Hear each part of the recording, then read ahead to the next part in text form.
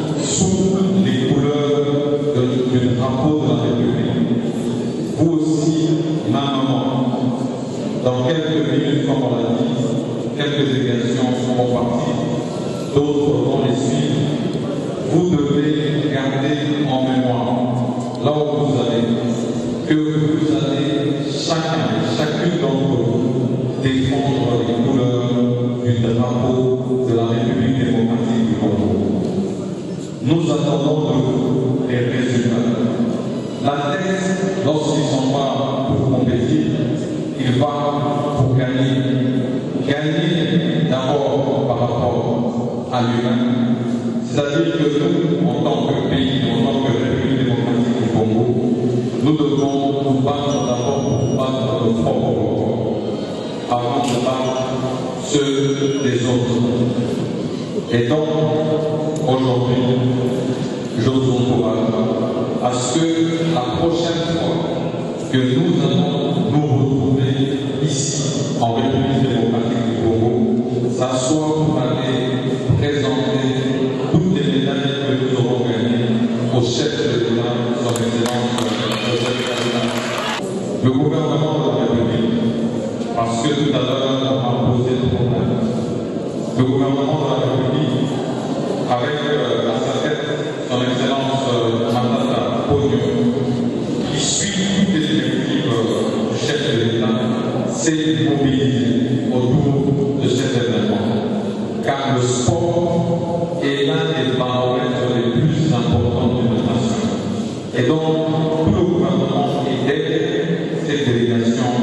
qui va partir.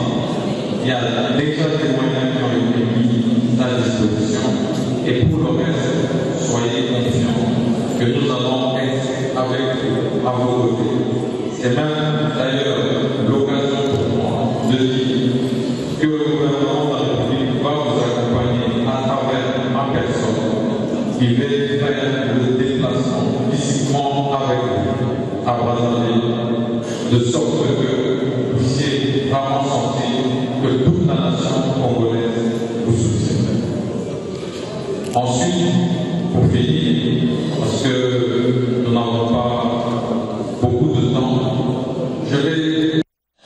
Toujours à ce sujet, à présent, je vous propose d'écouter les présidents du comité olympique congolais, Amos Mbayo Kitenge, qui place cette euh, participation euh, sous les signes d'une nouvelle performance après le Jeux africains de Maputo. Signe de la performance, vous savez qu'on a participé au dernier jet à Maputo, on a amené 16 médailles. Cette fois-ci, nous voulons nous battre pour amener plus de médailles. Quoique nous avons des petits problèmes euh, d'autres professionnels qui ne sont pas arrivés dans certaines disciplines compte tenu du début des championnats au niveau européen. Mais nous osons croire qu'avec cette bonne préparation qu'on a faite, dont nous allons espérer des médailles. En tout cas, de ce côté-là, nous devons louer les efforts consentis par le gouvernement malgré les temps difficiles. Toutes les fédérations ont eu des moyens pour la préparation. Et là, les fédérations, donc les, fédérations vont commencer déjà à défiler à Brazzaville. Et nous rassurons tout le monde que les, les athlètes auront leur prime, les officiels auront leur prime, parce qu'on mettra tout le moyen possible pour permettre aux athlètes d'être dans de bonnes conditions pour nous ramener des médailles. Et voilà, euh, quelques athlètes également se sont exprimés au sujet justement de la participation de la République démocratique du Congo aux 11e Jeux africains de Brazzaville. On les écoute. Badirigeant da basala eloko bakoki kosala etika eske biso to apporter un plus na pays. Toza sûr que cette fois-ci il y aura des médailles quoi. Bamédaille ekoya ebele quoi. Tose préparé bien na nyonso oyo bapesi biso na nyonso oyo biso moko tomoni ka topréparé vraiment à 100% sur ya bamédaille ezali message. Tolela kaka message ya te tolela kaka tolela mbongo ya te message nini topesa tali tozala certifié mpo topesa message bien Voilà, Jean-Louis Kaninda, euh, le chance euh, de la République démocratique du Congo à ses 11e Jeux africains de Brazzaville. Oui, comme Amos Mbayo l'a si bien dit, le président du comité olympique congolais, il dit que c'est sous le signe de la performance parce que les derniers Jeux se sont déroulés, je crois, à Maputo il y a quatre ans. Alors, bon, pour cette fois-ci, on devra aller au-delà de 16 médailles parce que le fer de lance de notre délégation, sans mâcher les mots, moi, je la placerai probablement dans l'équipe de taekwondo, celle qui nous défend dans la zone 4, qui nous défend sur le continent et même au niveau mondial avec des jeunes comme euh, la Parker Bolili, la taekwondoïne de chez les moins de 49 kilos. Elle a gagné la médaille d'or au mondiaux francophones. Et donc aucune chance pour les autres léopards Non, c'est pas ce que je dis, mais je me dis aussi là où les chances de médaille sont sérieuses, Ouais. ça reste le taekwondo parce que notre taekwondo nous représente valablement en dehors du pays. Et en plus, ils ont le- euh, la compétition dans le jambes. Voilà, donc ils ont effectué beaucoup de stages, l'encadrement est efficient. On se souvient lors des Jeux de la zone 4 à Maïcha Park, ici à Kinshasa, même les athlètes l'ont dit, ils ont dit que l'encadrement était bon. C'est une fédération qui est dirigée par des hommes qui ont pratiqué le Et taekwondo. aussi, c'est fort dommage, hein, Jean-Louis, parce que euh, entendre l'athlète que nous avions euh, suivi tout à l'heure, euh, apparemment, c'est comme si la première délégation est partie sans aucun rang. Bon, à ce que nous puissions savoir, c'est que les dirigeants ont annoncé que ça allait suivre. Donc, je- les Jeux n'ont pas encore commencé, c'est vrai, ils vont partir par vagues, mais comme l'a si bien dit le ministre de la Jeunesse, Sport et Loisirs, Mais a- avec ça, vous pensez que la RDC sera à mesure euh, de ramener beaucoup plus de médailles qu'on vient de les demander, les ministres de Sport, Samalou Kondé? Non, bon, il faut d'abord compétir, ça c'est un facteur. La motivation est là, les athlètes sont préparés aussi. Donc euh, la motivation ne dit pas tout. On, a, le sport, c'est une discipline, il faut, il faut pas aller sur le tatami, il faut aller sur le terrain, il faut jouer. La motivation, elle vient, mais tout dépend aussi de la préparation et des qualités intrinsèques de, intrinsèques de chaque athlète. Donc je me dis que la motivation, certainement, elle suivra, mais que les athlètes n'aillent pas avec un moral bas. Voilà. De notre côté, nous ne pouvons que souhaiter bonne chance à la République démocratique du Congo.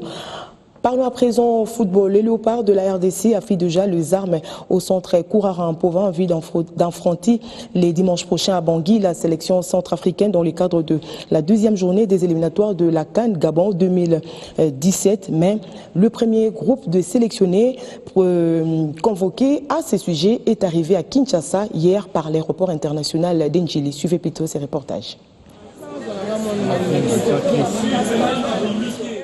Les premiers groupes de léopards sélectionnés en prévision de la deuxième journée des éliminatoires de la Cannes Gabon 2017 est arrivé à Kinshasa depuis hier soir par l'aéroport international d'Enjili. Conscient de l'enjeu de la rencontre ainsi que de la mission l'air dévolue, les poulains de Jean-Florent Ibengue auront cinq jours de préparation locale avant de s'envoler les samedis prochains pour Bangui. Au total, 18 joueurs ont foulé les sols quinois sur le 26 convoqué par Jean-Florent Ibengue et comment les sélectionneurs expliquent-ils les absences de certains certains joueurs pourtant attendus Non, c'est une très bonne chose. Les autres vont arriver demain. Euh, voilà, on va faire le regroupement demain. Le premier entraînement, c'est demain. Donc, il euh, n'y a pas à s'alarmer pour l'instant. Euh, sur les 26 qui étaient sur la liste de départ, il y a Cédric Macchiadi qui s'est désisté. tout simplement, il a mis une fin à sa carrière internationale. Euh, c'est tombé à un moment où euh, justement il était en train de changer de club. On a très bien discuté. Donc euh, il a été remplacé par Jacques Magoma. Et c'est quoi la situation de Gérès Kembo? La situation de Gérès Kembo, elle est toute simple. C'est que Gérès va arriver. Il devait arriver pour justement faire les papiers administratifs. C'est dans cet ordre que j'ai rajouté dans la liste des 23 Gérès, Paul-José Mpoku et puis Rémi Moulumba. Donc il se trouve que comme il venait, mais avec la certitude de ne pas jouer, il y a son club qui nous a appelé pour nous demander de, leur laisser Giresse pour jouer euh, vendredi. Ils ont un match très important vendredi et ils vont le libérer euh, euh, après pour qu'il vienne faire ses papiers. Donc d'un commun accord, on a décidé qu'il joue ce match là-bas et qu'il vienne quelques temps après pour pouvoir faire ses papiers administratifs, même s'il n'est pas avec les autres dans le groupe. Ensuite, il y a, ce qui, il y a Nikes Koudibana qui euh, m'a pris un peu au mot. Comme j'ai demandé que les, gardiens, et comme tout le monde, doit être euh, comment, compétitif, il a trouvé un club où il pouvait. Euh, il est titulaire pour l'instant. Donc il a envie d'asseoir sa position parce que si jamais il vient, il risque de ne pas retrouver cette place de titulaire. Donc il a vraiment envie d'asseoir cette place de titulaire pour justement répondre dans l'avenir aux critères auxquels je me suis j'ai fixé un petit peu à tout le monde. Et les autres qui ne sont pas là aujourd'hui vont arriver demain au gré des, déplacements et des transports euh, internationaux. Donc euh, Moubele sera là demain, euh, Paul-José Pokou sera là demain, euh, Cédric Bakambu sera là demain, donc voilà tous les autres. Au sortir de l'aéroport, dans le lot de premières arrivées, l'on aperçoit Niskins Kebano qui retrouve la sélection après être remis de sa blessure. Voilà, c'était vraiment très important de marquer mon retour. Maintenant, voilà, je reviens, on a un match très important et j'espère qu'on va le gagner. Ah, moi j'espère juste qu'on va faire un excellent match et qu'on va rentrer avec la victoire. Et plus loin encore, l'ancien international congolais de Kabouchkop, Bobo Ngenda, signe son comeback dans la sélection. Les sentiment makasi avec un bulletin on allait sauter parce que le sélectionneur Pona qui a fait là Pona maintenant là a récupéré un sous vraiment c'est une très grande joie pour moi vraiment. C'est une très grande joie vraiment de rentrer encore à l'équipe nationale. Moi-même je peux pas dire qu'il y en forme. Entraîneur à un sélectionneur à la championnat moi, je sais que tous les matchs dans le championnat angolais, tous les matchs, je sais très bien que je suis en forme. J'ai très bien Zara entraîneur sur place sur terrain. Mais qui pense déjà le but national nouvellement qualifié pour prendre part à la rencontre de la deuxième journée de ces éliminatoires? Bah, Très content parce que déjà j'étais déçu de ne pas avoir joué le dernier match. Donc là maintenant je vais, je vais me préparer mentalement pour pouvoir euh, faire un bon match euh, ce week-end. Très content d'être euh, d'être ici euh, et, de pouvoir avoir une, chance d'honorer la première sélection ce dimanche contre, contre le Centrafrique. Déjà c'est mercredi, une première opposition est prévue entre les Léopards et l'ASV Club de Kinshasa au centre Kourarampova. Question pour Jean-Florent Ibengue de mettre en place une équipe prête et compétitive. Voilà, suivant à présent tour à tour Chancel Mbemba ainsi que Jérémy Bokila, deux habitués de cette euh, sélection de la République démocratique du Congo qui se sont exprimés, bien entendu, euh, au sujet de la rencontre de ce dimanche prochain prévue contre la sélection centrafricaine dans le cadre, bien sûr, de la deuxième journée des éliminatoires de la Coupe d'Afrique des Nations Gabon 2017. pour nous défendre d'abord mon pays, mais pour nous, les d'être déjà kombo déjà ya congo d'abord. Kombo ezalaka nao chance te kombo d'abord joueur congolais. Chance sentiment trop komona bamasi akoya lisusu na équipe nationale. Nde nzambe alingaki lokumu ezonga epa na ye naosengaka tous les peuples congolais. Toye mpona bango mpona kodefendre kaka couleur na mayo tosala makambo nyonso nzambe akosunga me match oyo eza ya capitale oyo toyei dimanche na biso po tozwela bango 3 points. Basentiment eza bien vraiment. Esala toujours plaisir mpona kokita na kine mpe mpona kodefendre drapeau. Esala vraiment plaisir. Mpenga mpe plaisir nde nakiti anamona na bafrère esali plaisir vraiment. Promesse. Nayebi te nakopromettre bango kaka tosala effort biso nyonso tu mpona toqualifie so mpona kano ezoya mpo football eza collectif. Nakosa promesse nga moko te.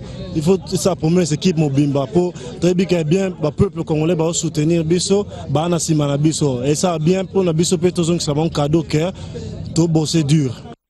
Alors Jean-Louis Kaninda, euh, certaines euh, euh, personnes pensent que c'est déjà gagné pour la République démocratique du Congo. Êtes-vous d'avis? Sur papier, c'est déjà gagné parce que si on doit comparer les deux sélections, les Léopards de la RDC, les Fauves de Bassoubangi de la RCA, je sais que sur le papier, nous sommes favoris. On a beaucoup plus de titres, on a beaucoup plus de renommée, une histoire dans le football. Mais n'oublions pas que cette équipe est l'une de celles qui a fait tomber l'Égypte ouais. juste après son triplé en Cannes, donc les trois Cannes d'affilée. La RC est l'un des pays qui avait surpris les pharaons d'Égypte dans leur descente aux enfers. -hmm. Donc c'est une équipe euh, qui, qui, peut aussi surprendre et surtout elle peut avoir de l'énergie pour le match. Euh, euh, qui, se jouera à domicile à Bangui.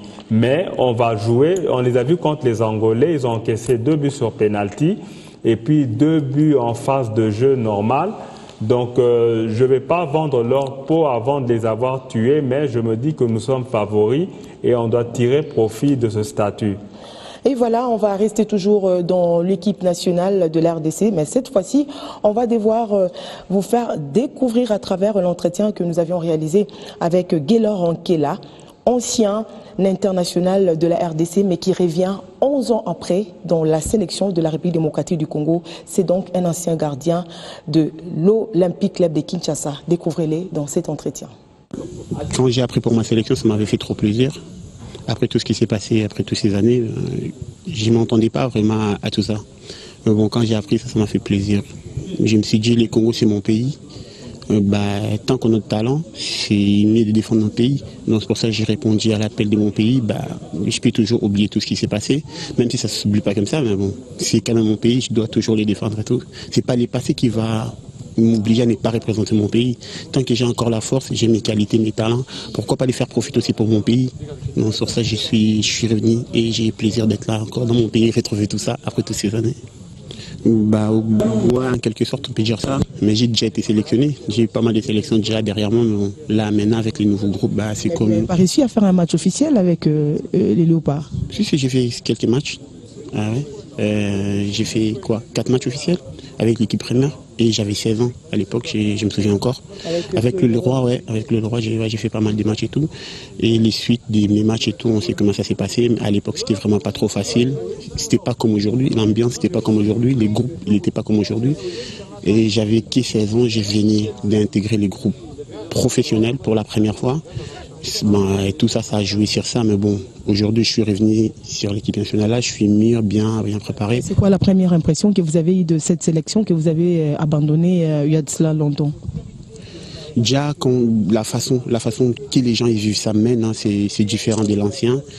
Aujourd'hui, on voit vraiment qu'il y a de l'envie, il y a tout ça. Et puis, là, il, il est jeune, le groupe il est trop, il, il est trop jeune et c'est ça qui donne aussi envie parce qu'avant c'était vraiment pas ça. Pour jouer avec la sélection il fallait avoir un certain âge et c'était pas facile quand tu étais jeune pour intégrer les groupes à l'ancienne comme nous on l'a fait. Parce que je me souviens j'ai joué avec des joueurs qui avaient des fois mon âge et c'était vraiment pas facile quand tu es plus jeune comme ça. Mais aujourd'hui je vois que ouais, les jeunes s'intègrent bien et avec tout ça donc ça fait plaisir je vois ça l'ambiance elle est bien je crois que cette fois-ci, ça sera vraiment les meilleurs. On ça fait vraiment longtemps que vous aviez euh, euh, abandonné la sélection de la République démocratique du Congo. Euh, Pensez-vous que vous avez encore votre place au sein de la sélection de la RDC Je sais, j'ai abandonné, ça fait quand même longtemps. Il y a pas mal de choses qui s'est passé après toutes ces années. Mais bon, je suis un joueur de foot, je suis un compétiteur, c'est comme ça, c'est la, c'est comme ça, je dois avoir ça en moi et l'esprit de compétition. Mais je viens là pour, pour représenter mon pays. Bah pour moi, la personne qui va jouer pour les pays, le nier, c'est qu'on gagne. Si on gagne, c'est bien pour moi et pour tout le monde. C'est pas parce que j'ai joué, je joue pas, je dois être, euh, je sais pas, en colère par rapport à ça. Non. Le plus important, c'est la victoire du, du, pays. Donc si c'est moi qui joue, bah ça serait mieux qu'on gagne. Si c'est l'autre aussi, bah, c'est aussi mieux qu'on gagne parce que c'est les pays, c'est l'honneur des pays et c'est les pays qui va vers l'avant. C'est pas, c'est pas, c'est pas la victoire individuelle ou personnelle, mais c'est pour tout un pays. Plus de 60 millions de personnes, ils sont derrière tout ça. Donc si on gagne, c'est comme si 60 millions de personnes ont gagné avec nous en même temps. C'est ça le plus important. Voilà Jean-Louis Kaninda, euh, Gaylor Kela, ancien sociétaire de l'Olympique Club Kinshasa, mais qui évolue actuellement en Belgique, en Verse, mais qui revient quand même au pays 11 ans après, et on va rappeler que sa dernière euh, sélection avec les Léopards remonte de 2004 avec euh, Claude, Claude Leroy. Oui, donc euh, c'est aussi un bon retour au pays. Il a joué ici à euh, au championnat local de l'EPFKIN aussi. C'était sous la direction du président Olivier Bieler. Ouais. Bon, maintenant, il a acquis de l'expérience. Il a vécu le football européen. Là, c'est le haut niveau, c'est la compétitivité. C'est un peu plus dur qu'ici avoir la, la façon de, de, de, gérer les athlètes. Bon, je sais qu'il a un plus plus qui peut apporter à notre sélection.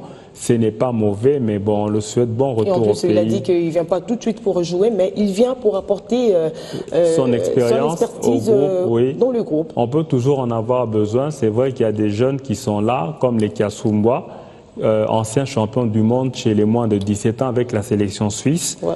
Euh, oui, c'était contre la finale contre le, les Super Eagles du Nigeria. Ouais. Donc euh, bon, euh, je pense que c'est bon cette symbiose-là entre la jeunesse, la fugue de la jeunesse et l'expérience des anciens. Je pense que ça fera un bon cocktail pour donner une très bonne équipe. Voilà, à présent, on va découvrir euh, un binational. Celui-ci s'appelle Rémi Moulumba, qui ne vient pas seulement pour jouer euh, cette rencontre de la deuxième journée prévue contre la République, centrafricaine, mais lui vient d'abord pour régulariser sa situation administrative. On va l'écouter. Euh, les échos sur les échos que j'ai pu avoir en France, bah, c'est magnifique. Voilà, l'ambiance est bonne. Voilà, je me sens bien ici. Donc euh, maintenant, euh, j'attends qu'une chose, c'est pouvoir jouer sous le maillot des léopards. Ouais, c'est ça. Je dois, je dois finaliser euh, tous mes papiers demain et j'espère être disponible pour le prochain rassemblement qui est normalement en novembre. Très bonne, le groupe est bon. On sent, qu'il y a, voilà, depuis, depuis la canne, il y a un groupe qui s'est formé. Et, voilà, c'est bien et c'est très bon pour la suite. Et voilà, Jean-Louis, euh, selon certaines indiscrétions, euh, la retransmission du match euh, Centrafrique, RDC risque de ne pas avoir lieu. Oui, si tout simplement les redevances dues à Sport 5, un opérateur euh, français, je crois, ouais. qui a l'habitude de retransmettre les matchs sur le continent pour le ouais. compte de la CAF. Uh -huh. Alors, euh, paraîtrait-il que la RTNC qui redistribue le signal localement euh, à, le gouvernement congolais doit à Sport 5 une, une, une somme de 210 000 dollars américains. dollars américains et 2500 et D'ici dimanche, si on ne paye pas, donc pas des matchs pas à la de télé. match à la télé. Au cas où on, on, on, on récidivait peut-être, c'est-à-dire on retransmettait frauduleusement, frauduleusement c'est l'équipe nationale serons... qui sera disqualifiée pratiquement de la compétition. Et voilà.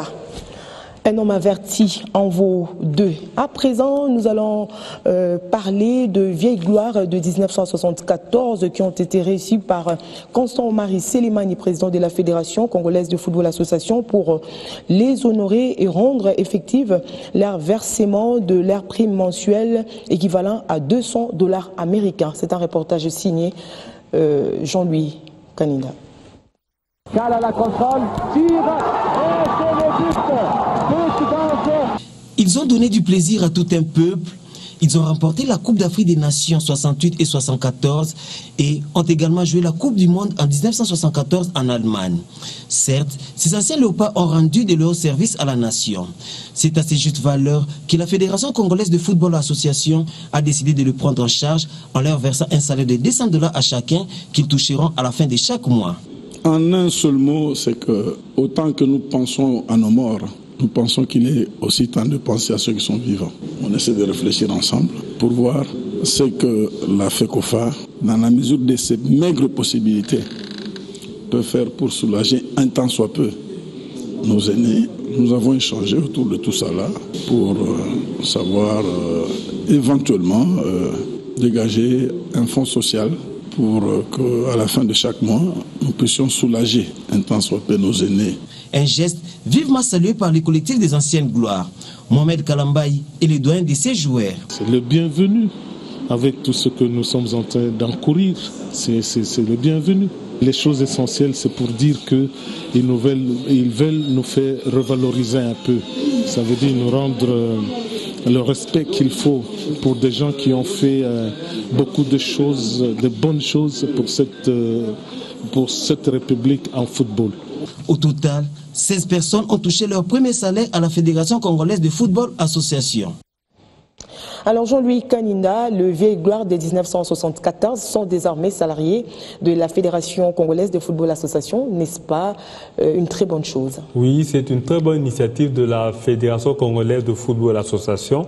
C'est comme, euh, bon, ce n'est que bienvenu comme on le dit, ils ont fait la pluie, le beau temps du football congolais. Ils ont fait parler du Congo à travers l'Afrique et le monde. Je pense qu'on ne doit pas les jeter dans l'oubliette, même si des fois on dit que le football euh, c'est un sport ingrat, mais euh, je pense que la fédération a pris ses responsabilités et les autres autorités pour, pourront suivre cet exemple. Emboîter les pas, pourquoi pas le gouvernement de la République qui a déjà promis 500 euh, dollars à ces vieilles gloires, mais qui jusqu'à présent ne les a jamais ne Les a jamais versés. Alors moi je me dis la fédération a donné l'exemple, donc faut pas se gêner. Et on va dire que c'est quand même une première hein, dans l'histoire du football congolais. Oui, c'est une grande première puisque ça ne s'est jamais produit. Alors, on va demander aussi à tous les bailleurs de fonds, à, toutes les autorités, s'ils peuvent suivre ce bon exemple.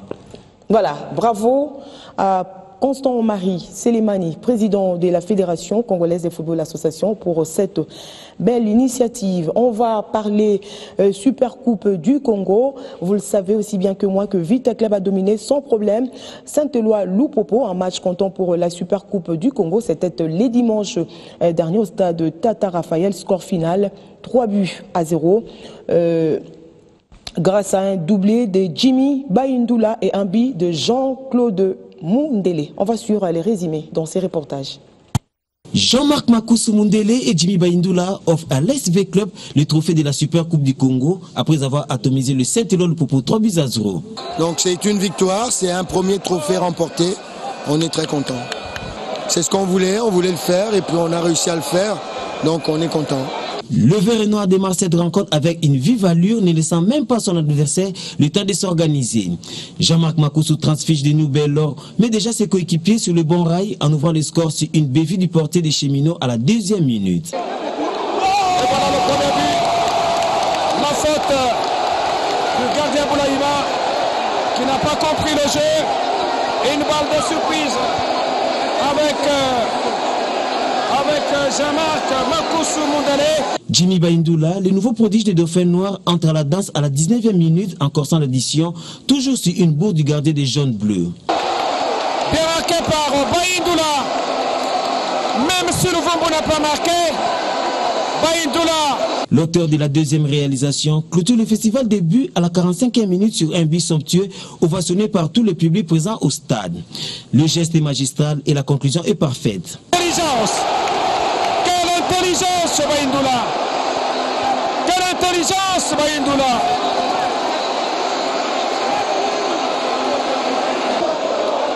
Et le public répond. La seconde période n'apporte aucun changement au tableau d'affichage en dépit de plusieurs tentatives réussies par les Verts et Noirs. Trois buts à zéro, il faut remonter plusieurs années pour voir une telle victoire des Moscovites devant les cheminots. Vous avez vu, on était nulle part. On a essayé en deuxième temps d'équilibrer un peu les forces, mais c'était trop tard. On n'a pas beaucoup de, de ressources énergétiques pour résister. C'est difficile. Certes que le club a eu un peu de chance avec les deux premiers buts, mais ils étaient supérieurs par rapport à Popo. Il faut accepter qu'ils étaient supérieurs. Les autres ont fait plus d'un mois, ils se préparent, ils jouent le match. Et nous, on regarde, on essaie de réunir le jeu petit à petit, c'est comme ça.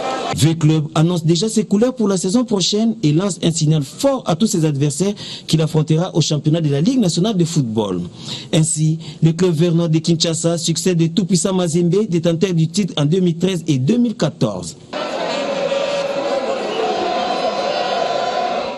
Voilà, Jean-Louis Canina, l'impréparation du côté euh, de cheminots à, payer cash. À payer cash, ça s'est payé cash pratiquement. Ils ont dit que c'est à peine une semaine qu'ils se sont préparés depuis la fin de la Coupe du Congo remportée à Lubumbashi. Euh, donc les cheminots n'ont pas eu le temps de se relever. Mais on va dire aussi qu'il y a de la réussite du côté de V Club. Tout à fait. Parce qu'avec Jimmy Baindou, là, le transfuge de JSK, un club qui a évolué l'année passée à l'Epefkin. Et Baindou a été sacré meilleur joueur de la compétition pour la saison 2015 euh, par la FECOFE et l'EPEFKIN aussi, la LIFKIN. Donc, euh, par la LIFKIN, non Par la LIFKIN, voyons. et puis avec euh, Jean-Marc Mundele Makoussou, qui était à Belor, qui a fait un stage au Standard de Liège. Donc, je me dis que les deux nouveaux sont arrivés et ils n'ont pas attendu pour avoir des titres. Donc, ce sont des âmes bien nées. Voilà, ce sont deux âmes bien nées. Et avec ça, Jean-Louis, euh, il y a lieu de compter avec euh, Vita Club encore une fois de plus cette en saison. En tout cas, là, à, vu, à voir ce que nous voyons depuis l'arrivée de ces deux jeunes joueurs et sans euh, oublier les autres, je me dis que Vita promet des grandes choses pour la saison 2015-2016. Et surtout, il faut dire aussi que ça va un peu nous faire oublier tous les départs qu'il y a eu.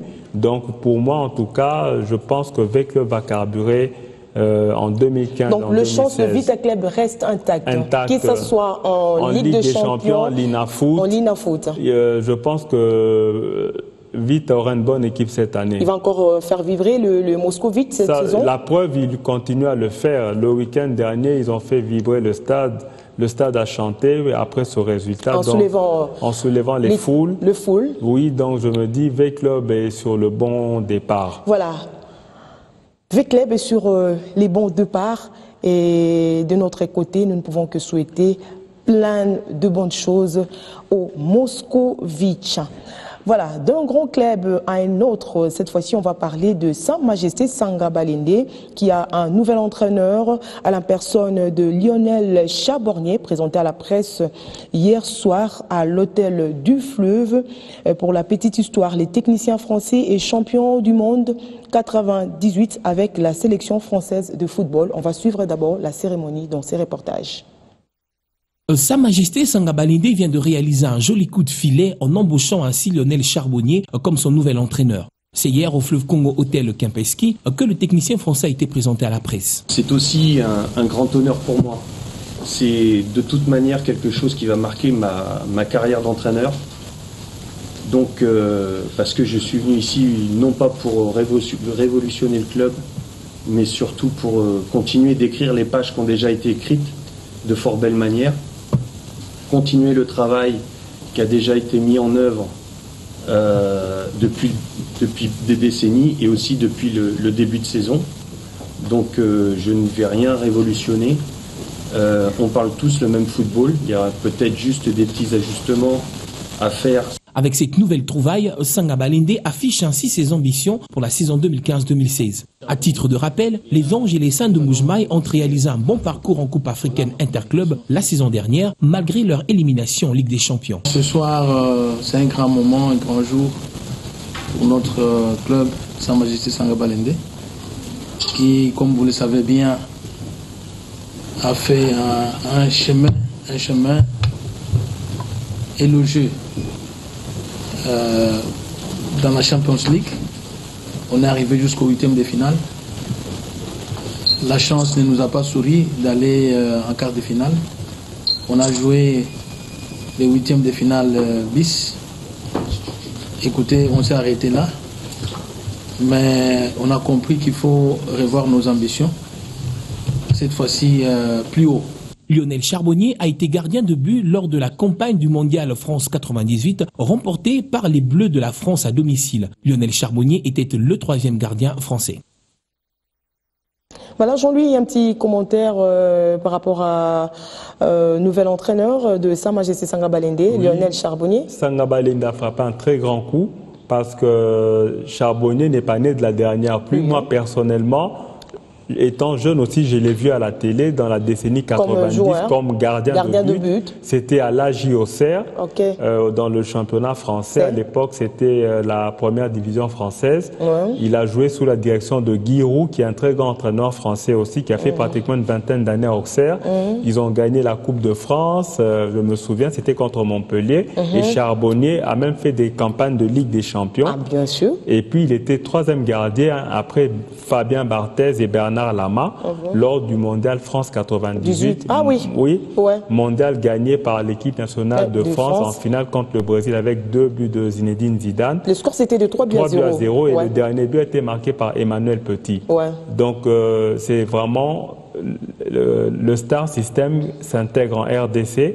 Donc je pense que ça va faire avancer nos clubs lorsque Vita devient une société, DCMP devient une société, Mazembe qui est déjà dans le professionnalisme et Sangaba Lende qui tente de s'investir dans la construction des infrastructures telles que le stade Kachala Bonzola. Moi je me dis en tout cas euh, félicitations.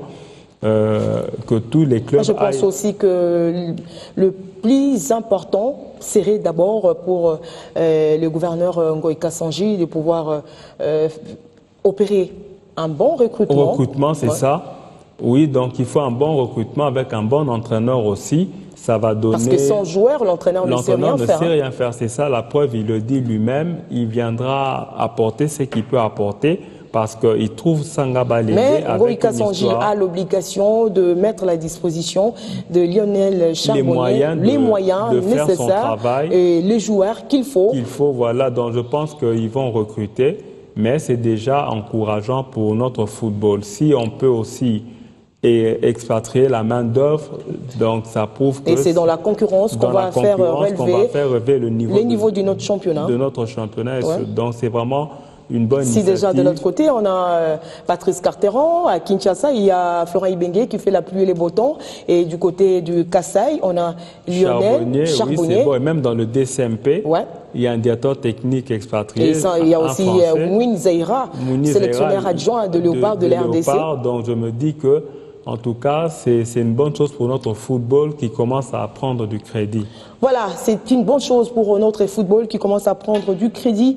À présent, on va parler euh, de séminaire congrès de l'AJSC qui s'est clôturé le week-end dernier après la réélection du comité Pierre Célestin Kabalamouanambouyi. Plusieurs ateliers de formation ont été initiés à l'intention de journalistes sportifs venus de plusieurs provinces du pays. On va suivre ce reportage signé Jean-Louis Lucanda.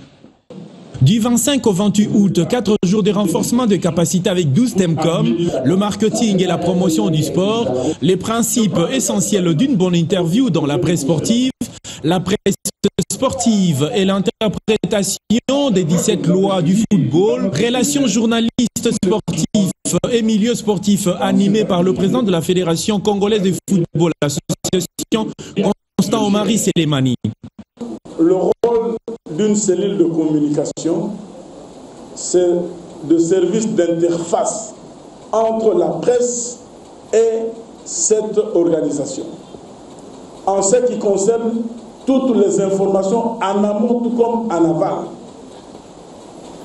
Elle sert à mettre à la disposition de la presse toutes les informations que cette entité juge nécessaire de mettre à la disposition du public. Elle est censée recevoir, créer les conditions idoines et harmonieuses pour pouvoir s'occuper de tout ce qui est relationnel entre la presse et cet institut. Pour le président de l'association, Pierre-Célestin Kabalamolamboui, réélu pour un autre mandat de 4 ans, les journalistes sportifs du Congo démocratique doivent faire leur travail avec conscience professionnelle et respect de l'éthique et de l'ontologie. Il s'agira pour vous de les intérioriser.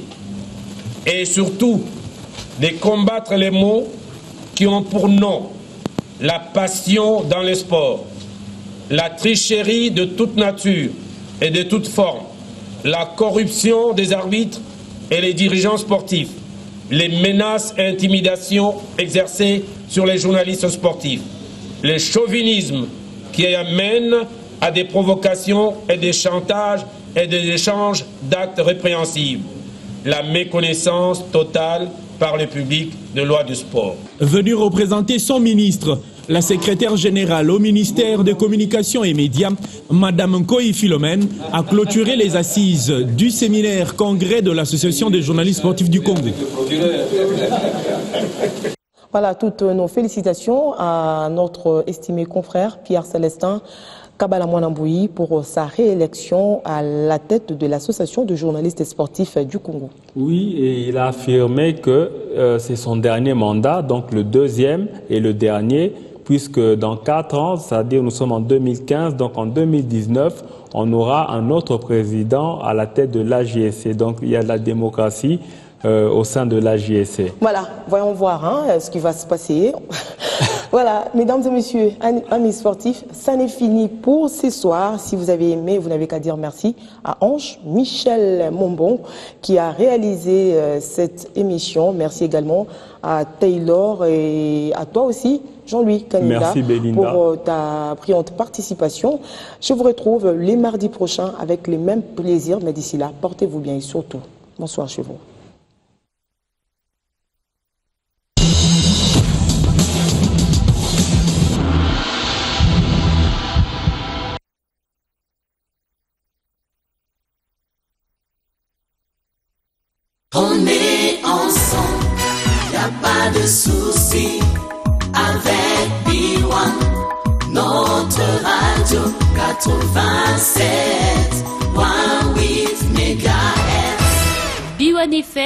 L'excellence dans la simplicité.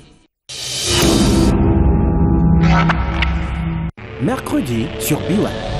La Cour constitutionnelle, hein, devant qui est Matata le Premier ministre, euh, s'est présenté pour dire qu'il n'y avait pas d'argent pour euh, les élections. La Cour euh, constitutionnelle, aujourd'hui, donc, euh, se prononce pour si on peut appeler chat, chat, hein, la nomination des gouverneurs. On va vivre une transition, là?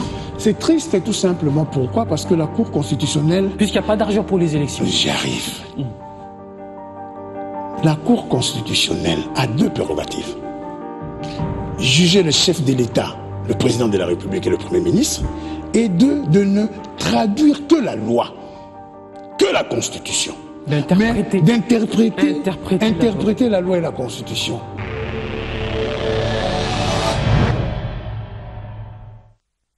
Washington Forum, le décryptage hebdomadaire de l'actualité et des sujets qui vous touchent dans votre vie quotidienne.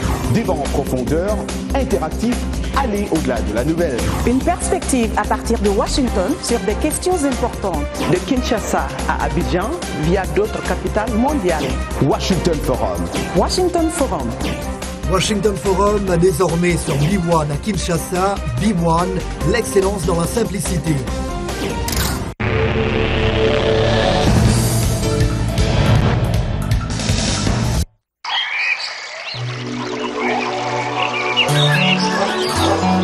Les arbres sont des pions essentiels de la chaîne de la vie.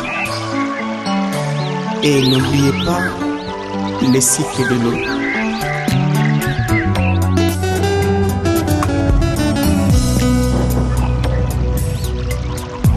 La nature est la force du pays. La bonne gestion